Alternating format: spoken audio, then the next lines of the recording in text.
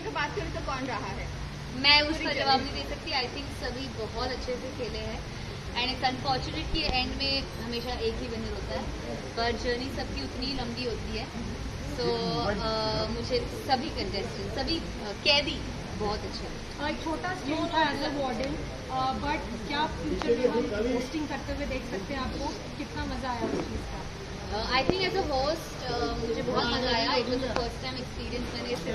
थोड़ा आगे मैम पर जिस तरह से अप्रिसिएशन मिला है I am grateful I am thankful कि लोगों को अच्छा लगा। स्पेशली मुझे लगता है क्योंकि मेरा first time as a host था। Uh, करण का साथ मुझे बहुत हेल्प किया है।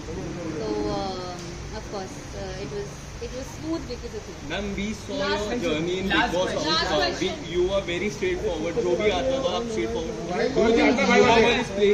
अरे माइक कहाँ है वो कहाँ है? सेम टाइप ऑफ़ गेम थोड़ा आगे आए। आ जाओ ना पूरा वोट ही जा रहा है। मुझे नहीं पता कौन मेरी तरह इस शो को खेल रहा है या जो भी because honestly I was myself और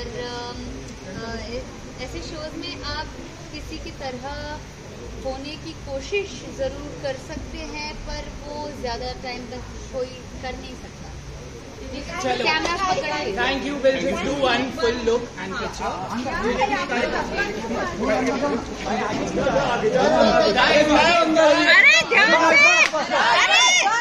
मनोज! हाँ अरे नीचे बैठा हो तभी क्या मनोज मनोज चिल्ला रहा है?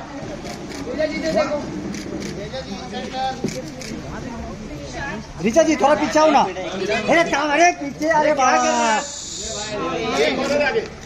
भाई भाई भाई तेजा तेजा तेजा तेजा तेजा।